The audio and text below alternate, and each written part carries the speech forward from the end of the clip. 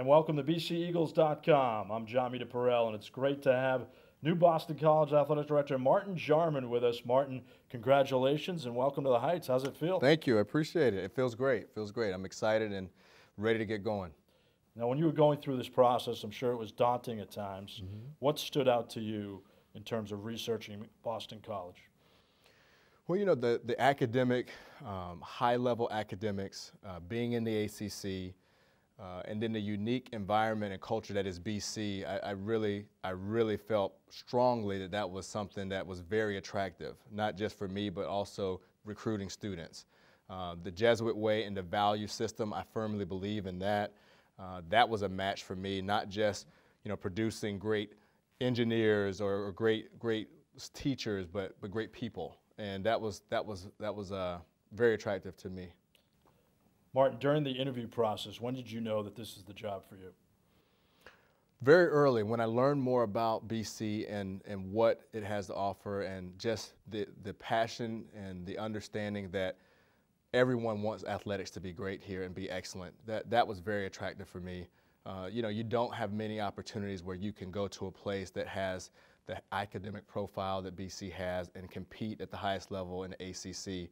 You know, that, that just doesn't happen. And so the opportunity, um, once I learned more and understood what BC was about, I wanted to be a part of it. And you know what the ACC is about. You mentioned it earlier today at the press mm-hmm. conference. You grew up around the ACC. You're originally mm-hmm. from Fayetteville, North Carolina. That's ACC mm-hmm. country. That's right. So that must have been something that kind of you rallied around too, saying, "Hey, you know what? I know what this conference is about. I can do this." Yeah, it was a dream come true for me. You know, I grew up watching the ACC and again, to be at a place that academically is very strong and to be able to marry those two as far as your strong academics and athletics, that's really attractive, you know, and that's what that's what BC is about, and that's what I want to be a part of, and I think I can make a difference, and that's why I wanted to be be here.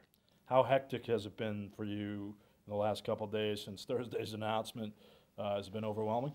It has been. I was out in California from last Tuesday to Friday, so when the announcement came, uh, I was at the 40 Under 40 Awards, and there was a lot going on, you know, and, and I really wanted to try to connect with our coaches and, and a couple people. So it's been a whirlwind. Probably harder on my on my wife and my daughter. She's only 20 months old, so she she's not sleeping really well right now. But uh, but it's been great. You know, it's, it's a blessing to be here. I'm excited, and I'm ready to get going. Yeah, that must be tough too. I mean, congratulations on that. 20 months old the sleeping patterns might be disrupted a little bit. yes, the sleeping patterns are definitely disrupted a little bit. Uh, but you know, we'll we'll figure it out. We're just excited, and, and my family, we can't wait to move here. It's a good time to be here. And the Boston College community is very excited. And one of the things I think that st- stands out to BC fans is the fact that you're coming from Ohio State. Mm-hmm. They have terrific basketball and football programs, and you have a background there. You have a base of knowledge. You've had it throughout your career, even at Michigan State.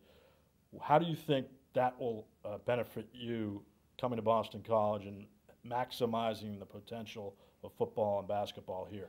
Yeah, anytime you've been somewhere else, you try to take some of the, the best things and attributes about it and, and translate it to, to where you're going. And so, you know, I've been blessed and fortunate to have been a, part, been a part of two great, outstanding programs academically and athletically.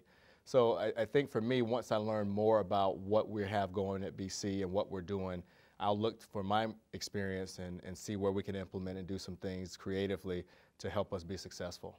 And is it helpful to come to BC, which has 31 varsity sports, from a Ohio State program which has 36. Is that a benefit? It is. I think it's wonderful that we we offer a broad-based portfolio of sports. You know, that's more students that we can attract and and recruit, and I, I think that's great. I love providing experiences and opportunities for young people, and to have 31 sports, I think that's a blessing. I think that's great. Who have been some of your mentors throughout your career? Uh, Gene Smith is, is right there. You know, he's my guy. I've learned a lot from him and, and uh, done emulated, tried to emulate some of the things that he does. Mark Hollis at Michigan State, he's been great. Joe Castiglione.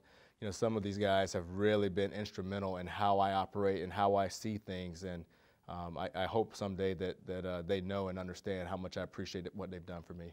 One thing that kind of really stood out to me earlier was your three themes you want to incorporate immediately at Boston College? What are they? Passion. Uh, I want passion and energy in everything that we do. I think that builds momentum, and that's that's very strong. We have some energy and momentum going now. We have to keep that going. uh, alignment. You know, we all have to pull in the same direction. We all have to make sure we understand our shared goal, and everybody has a role, and we have to play those roles. And so I think just from athletics, university, and the BC community at large, we need to be all in on, on where we want to go. Um, and competitive excellence, that's the last one. Uh, we want to compete. We want to be every single day, how do we get better? How are we getting better? Competitive excellence in all that we do, not just wins and losses, but how are we pushing the envelope to, to, to get better and be the best we can be? Are those part of a central theme that you have for a message for the BC community? What, what is your message to the Boston College fan? Uh, like I said, our goals are going to be twofold. We want to help develop our kids academically, athletically, socially, and spiritually, and we want to win. Those are the two goals for our department, and that's what we're going to do. I'm ready to play. I think he's ready to go. There's no doubt. What's the timeline for you to start? Uh, so we'll probably have a, a, a, six six to eight week transition. We'll probably start mid June. Um, we'll we'll move early June. I have some things to wrap up at Ohio State that I have to take care of first and foremost, and uh, but I'm already in. I'm, I'm doing things every day, and and uh, I'm just excited. And you know, I think when you have this kind of opportunity, uh, you want to do it the right way, and you want to hit the ground running. And, and I'm hitting the ground sprinting. Well, you're doing it the right way, and I speak. I think I speak for everybody in Boston College to welcome you here, and Thank we you. are very excited about this. Thank it's going you. to be a new era in Boston College athletics, led by Martin Jarmond. Go Eagles! Go Eagles! All there right. you go. He's Martin Jarmond. I'm Jon Meterparel. Check back in to bceagles.com for updates throughout the day and throughout the week. So long, everyone.